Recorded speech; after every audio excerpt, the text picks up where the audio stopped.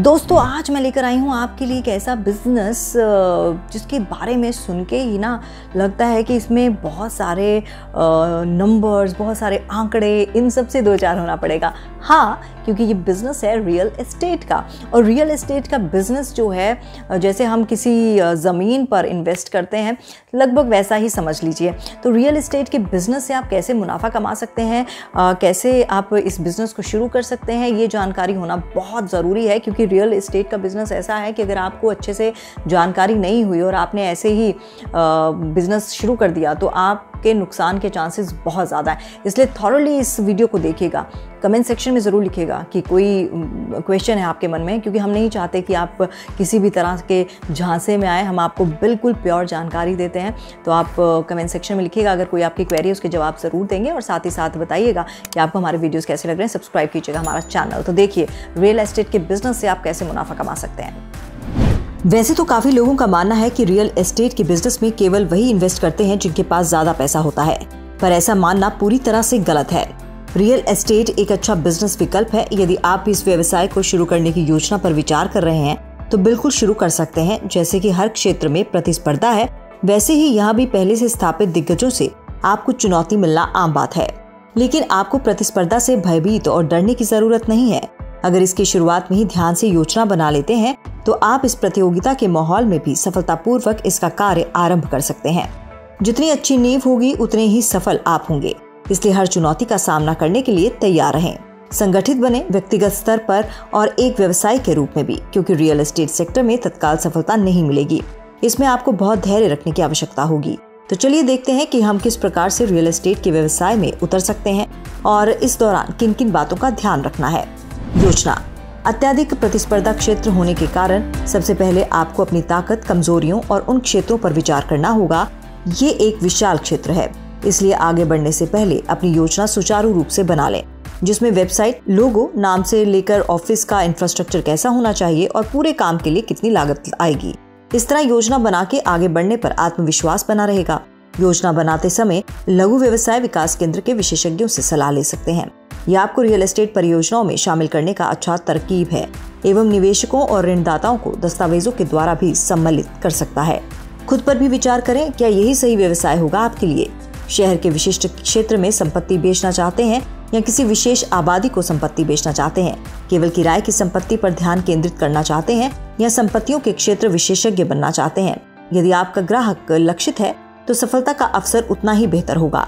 साथ ही सुनिश्चित करें, आप ग्राहकों की भी सभी जरूरतों को पूरा कर रहे हैं। संपत्ति के साथ साथ डॉक्यूमेंटेशन और लोन के लिए भी मदद कर रहे हैं। अचल संपत्ति का व्यवसाय करने के लिए विचार करें। आवासीय रिजॉर्ट और वकेशन होम आय संपत्ति कॉन्डो वाणिज्यिक रूप से जोन की संपत्ति संपत्ति प्रबंधन, किराए की संपत्ति, साथ ही इस पर भी विचार करें, क्या केवल खरीदारों के लिए ही काम करना चाहते हैं या जो घर बेचना चाहते हैं उनके लिए भी। बाज़ार अनुसंधान। हर व्यवसाय के लिए मार्केट का आंकलन करना ज़रूरी होता है। ये रिसर्च ही बताती है जो आपका विचार है व्यवसाय को लेकर, वो कितना काम का है। कौन से स्थान की संपत्ति अच्छी रहेगी, वहीं इससे आपकी वर्तमान स्थिति पर भी विचार करने में मदद मिलेगी। रिसर्च खुद भी कर सकते हैं या किसी प्रोफेशनल को रख सकते हैं। इन बिंदुओं पर विचार करें। रिसर्च की सुनिश्चितता तय करें ताकि धन और समय दोनों बचें। सही कौशल और मानक के अनुरूप ही बाज़ार का रिसर्च करें। इस रिसर्च से वास्तविकता का अनुभव होगा। रिसर्च में विशेषज्ञों और अनुभवी से सलाह भी लेंगे तो ये आपके लिए फ़ायदेमंद होगा।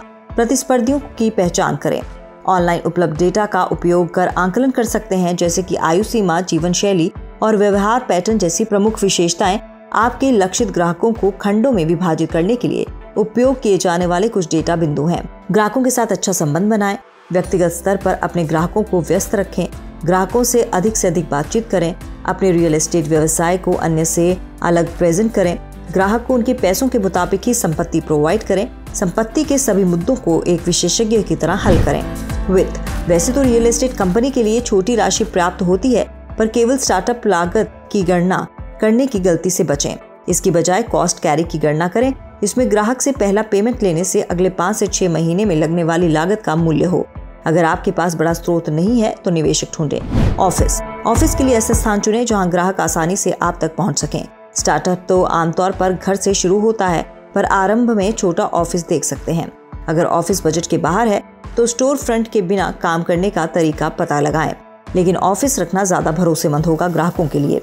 एक मुनीम को रखें, ये पूरी तरह से अकाउंटेंट नहीं होता, पर डॉक्यूमेंट को व्यवस्थित रखने, बिलों का भुगतान करने के लिए होता है, जिससे आपको रियल एस्टेट लेन देन के रिकॉर्ड को व्यवस्थित करने में आसानी होती है। ये बैंक खातों का विवरण, रिपोर्ट तैयार करने और वित्तीय रिकॉर्ड रखने में मदद करता है।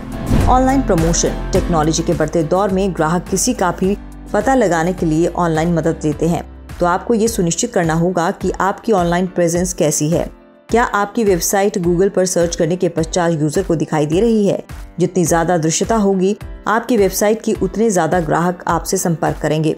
वेबसाइट पर और सोशल मीडिया अकाउंट्स पर अपना पूरा विवरण सही सही डालें। इन स्टेप्स को ध्यान में रखकर आप अपना व्यवसाय चालू कर सकते हैं। लेकिन यहाँ ध्यान देने वाली बात यह है कि जब ग्राहक आपसे संपर्क करना चालू करते हैं, तब उनसे जुड़ना ज़रूरी है। कई अध्ययनों से पता चलता है कि जिन लीड्स पर लंबे समय तक बात नहीं होती या ग्राहक अनुतरित रहता है, उसकी बिक्री में परिवर्तन की संभावना 80 प्रतिशत से 20 प्रतिशत के पास पहुँच जाती है। इसलिए जितना जल्दी हो, संपर्क करें। उत्तर नहीं देने पर संपर्क करते रहें और संपत्ति लेन देन के लिए उत्तर तैयार रखें।